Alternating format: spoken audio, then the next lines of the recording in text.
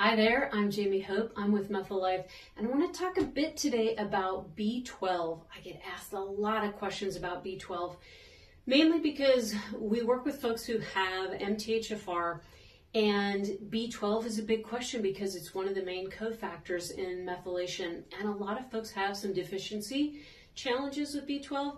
And it's really hard, I think, overall for medical professionals and practitioners to really detect and understand the level of B12 status in a patient.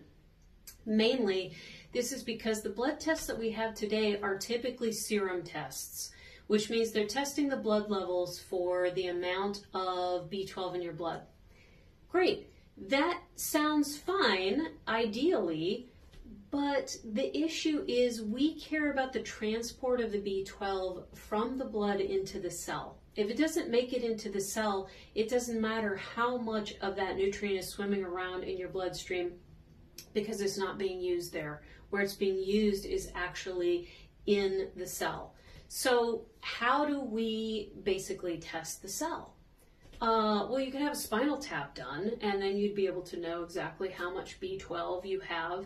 Um, in one study that I read, fibromyalgia patients, uh, a lot of them actually tested high blood level B12 serum, right? So they think, oh, I'm high, I don't need any B12. And they had some spinal taps done, and in their cells, they found almost no B12 at all, which means that they were actually severely deficient with B12. So, you know, I mean, a doctor's not going to order a spinal tap for you to determine your B12 status. What do you do, right? It's a great question. And so, and a lot of people tell me, you know, well, I have normal B12, I don't need B12. Well, you may not, but the test that you might want to take to get a little better idea about whether or not you have a B12 challenge, right, is called an MMA test or the methylmalonic acid test. If methylmalonic acid is high, even though your blood serum levels for B12 are normal, then that might indicate you have a B12 deficiency. Another thing that gets high when you potentially have a B12 deficiency is homocysteine. So if you have high homocysteine and high MMA, it's very likely that you actually have a B12 deficiency no matter what your B12 blood serum result test says. So what do you care about then at that point? It's about the form that you, oh, well, I need a shot, right? Well, a lot of times they'll actually give you a shot of something called cyanocobalamin.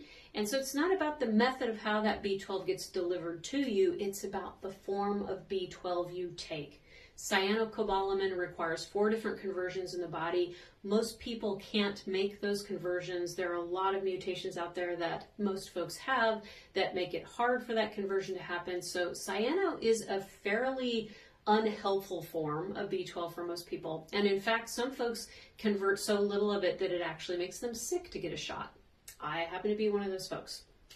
Um, a study was done and it shows that just as helpful as a B12 shot is sublingual form of B12 and specifically if you're getting the right forms. So the active forms are hydroxycobalamin, adenosylcobalamin, and methylcobalamin. So those are the forms you want to be looking at and you want to take it sublingual. If someone's giving you a pill or a capsule and they're asking you to swallow it, you are not getting that B12 in your system, but maybe 4% of what you take. 4%. That's a waste of your money. Make sure it is a sublingual, whether that's liquid or whether it's a tablet. We've got a couple of different great products to check out uh, sublingual B12s. Uh, one with all three forms, one with just hydroxycobalamin. I hope that helps. Take care.